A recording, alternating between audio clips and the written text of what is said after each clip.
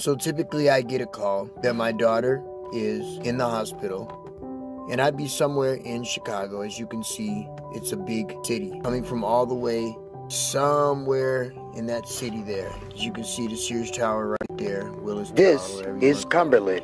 and I would typically be somewhere in there and I would have to come from the city and every time they called me I would be so ecstatic because I would know for some reason that my daughter is in the hospital and she's going to be there overnight and it was a feeling I'm sad that she's going through this and I'm worried as a father but then again there I have a place to sleep now and I would get off the train and let's just be fair, it would not be 8.23 in the morning. It would be literally, let's say, 2 in the morning.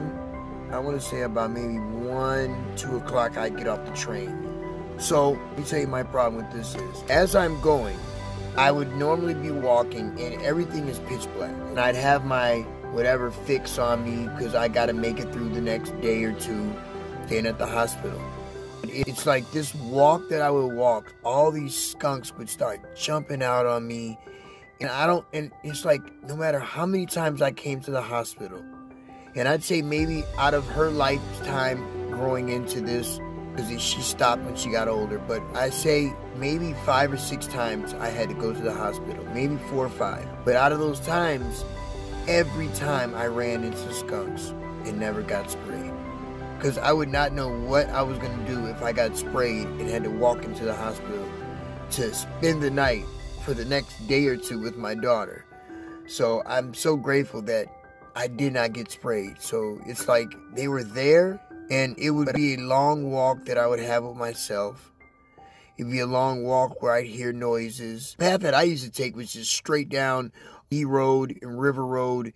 And uh, but no matter what it's so dark and there's animals out. Because people got to understand these animals come out at night and these critters do not care about you. They will snip and bite at you.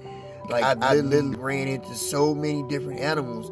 And then when you put the light up to your eyes and you just can just peer across and you're going down that one road that bends around and it's just so dark and you see all these eyes peering at you and you hear the noise but when you make it, and you finally get out to that road and you walk, you you get to Lutheran General Hospital parking lot. Right here, you're so happy because you made it finally. Ah.